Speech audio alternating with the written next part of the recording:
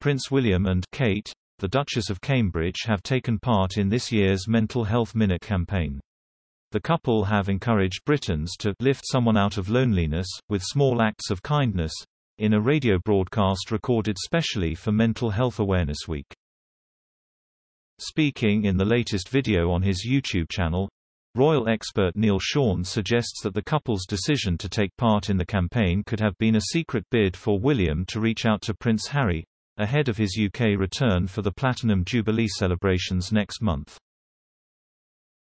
Mr. Sean said, According to a very good source, this really was a message back to Prince Harry because he seems to have taken ownership of, of course, victimhood.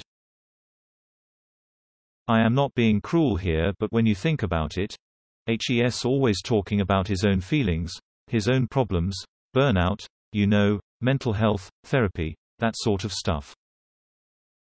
H has got a brother, and his brother also will have encountered a lot of those problems, particularly as one day HES going to be our king.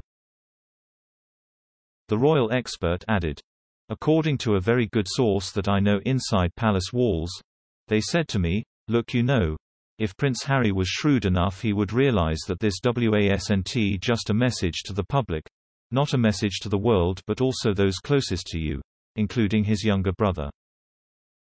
He added, a lot of people are saying is this a reach out ahead of, of course, the return for the Platinum Jubilee. And for, them to, at least, be more cordial.